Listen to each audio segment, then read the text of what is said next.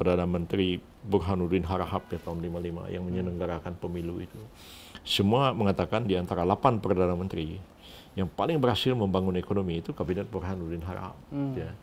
Saya bertemu orangnya, saya, saya banyak diskusi dengan beliau. Ya saya tanya, apa Pak Burhan yang membuat Bapak itu dianggap ya kabinet paling berhasil membangun ekonomi dalam waktu singkat. Hmm. Yang uh, semua orang tidak bisa laksanakan pemilu, Bapak bisa laksanakan pemilu. Ya. Dia bilang, saya memanfaatkan perang Korea. Korea? Ya. Tahun, tahun-tahun 52 sampai 56 itu kan terjadi perang Korea. Ya. Jadi kita menggenjot produksi timah, minyak, dan karet. Hmm. Dia bilang kita ekspor. Dan tentunya devisa itu kita dapat banyak sekali.